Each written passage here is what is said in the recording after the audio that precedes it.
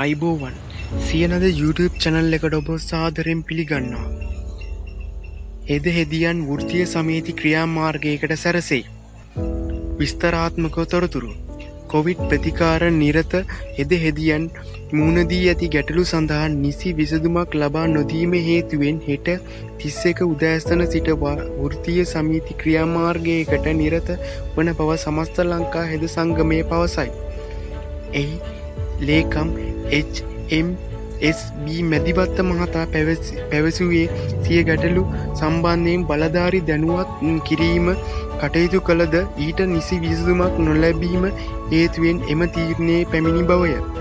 ඒ අනුව හෙට උදෑසන සිට අනිත්තා පළවෙනි උදෑසන දක්වා අසනීප නිවාඩු වාර්තා කරමින් වෘතිය සමීති ක්‍රියාමාර්ගයක නිරත වන බව HMBS මැදිවර්ත මහතා වැඩිදුරටත් කියා සිටියේ.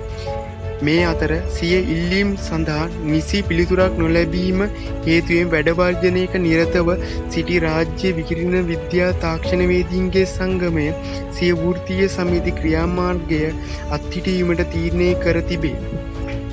ඊයේ පස්වරු සෞඛ්‍ය අමාත්‍යන්සේ පැවති සාකච්ඡාවකදී සිය ඉල්ලීම් සඳහා විසදුමක් ලබා දෙන බව බලධාරින් පොරොන්දු වී හේතුවෙන් සිය වර්ජනය අවසන් කිරීමට තීරණය කළ බව ඒ සභාපති චානක ධර්ම වික්‍රම මාතා පැවසීය.